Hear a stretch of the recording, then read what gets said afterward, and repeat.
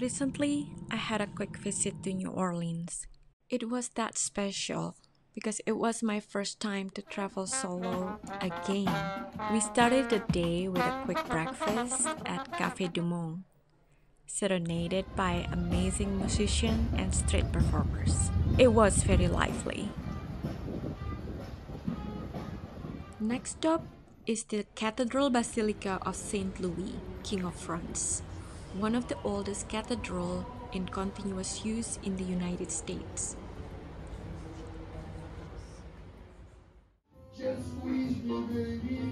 New Orleans is world renowned for its distinctive music and vibrant nightlife. So we made sure we checked out a few places along Bourbon Street one evening and French Street in the next evening.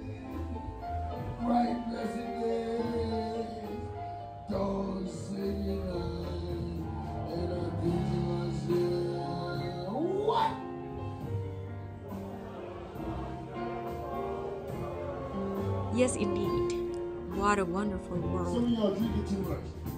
Really love the chill vibes in some of these jazz bars. Oh, about local cuisine.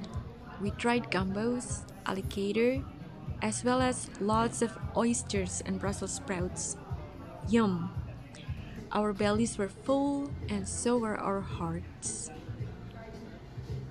My husband took me to Mardi Gras Museum in one rainy day, and admittedly, I had too much fun, but I think he did too.